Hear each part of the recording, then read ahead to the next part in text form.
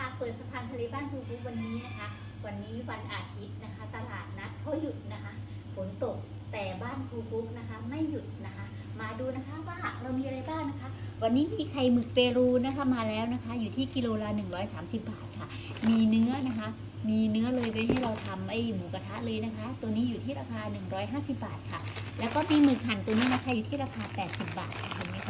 ไม่ต้องซื้อมากิโลละ200 300นะคะ ใช้หมึกตัวนี้ไปได้เลยนะคะ แล้วก็มาดูตรงนี้นะคะ มีอะไรอีกคะ มีหอยแครงค่ะ หอยแครงอยู่ที่ราคา160บาทค่ะ ตามด้วยปูม้าไซส์ยำนะคะ อยู่ที่ราคา200บาทค่ะ ปูม้าไซส์ big ใหญ่เลยนะคะ350บาทค่ะ หอยนางรมถุงละ240บาทค่ะหางหมึกค่ะ อยู่ที่กิโลละ90บาทค่ะ กรอบเด้งเลยนะคะ แล้วก็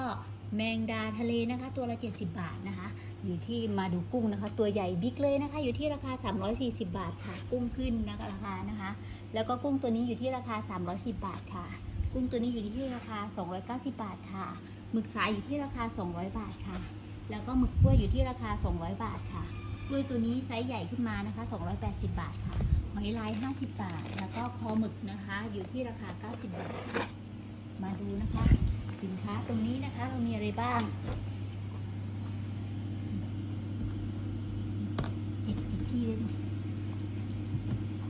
ขอแนะนำนะคะ ขอแนะนำหมูป่านะคะ หมูป่าอยู่ที่บ้านครูคุกนะคะ อยู่ที่แพ็คละ 180 บาทค่ะ หมูป่านะ แล้วก็เนื้อปลากระพงค่ะ120 บาทค่ะไส้หมักจะเป็นพริกไทยอยู่ที่ราคา 100 บาทค่ะ แล้วก็แมงกะพุนอยู่ที่ 80 บาท กุ้งต้มอยู่ที่ราคา 130 บาทค่ะ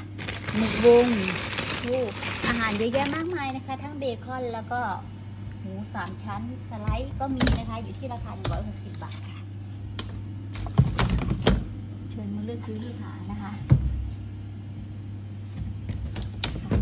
ค่ะค่ะมีเยอะแยะมากมายหลายอย่างให้เราเลือกซื้อเลือกหานะคะเมื่อเราเลือกเสร็จแล้วนะคะ ให้มาดูตรงนี้นะคะ